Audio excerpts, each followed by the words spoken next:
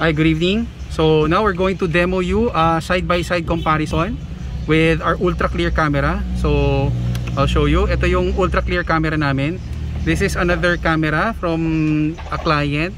So nalalabuan daw siya sa gabi. So ito side-by-side actual comparison. So tinakpan na lang namin yung brand ng camera na to. So ito yung night night difference side by side. Ito yung capture, ito yung nakakabit ngayon sa Fortuner. So, yan yung difference niya. Ito yung actual niya ngayon, sa existing niya ngayon. Ito yung ultra clear camera. So, as we've said, uh, maraming features pag pinost nila, same lang yung nakasulat.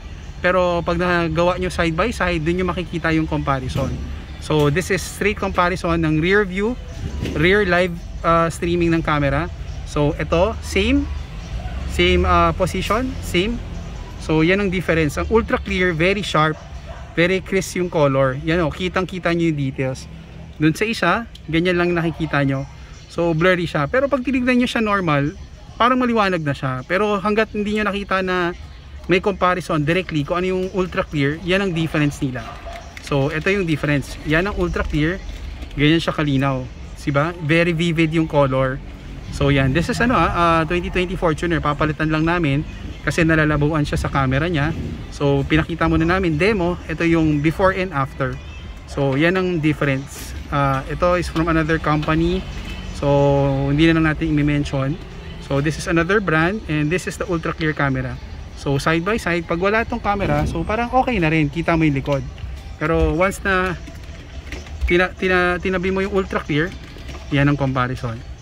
Ganyan siya kalinaw. Yan ang difference ng camera So yung mga nagtatanong, if you like this video, you can check more details sa YouTube channel ng JC Garage PH for the ultra clear camera. So yan yung comparison niya sa gabi. Yan, gabi na siya. Yan ang direct comparison side by side. So uh, giving you more knowledge of the camera kung anong difference niya, ito yon. So if you like or you need this item, please kindly send us a message so we can hook you up for a schedule. Yan, yan ang difference. Yan ang ultra clear, yan ang normal na binibenta ng ibang brand. Thank you!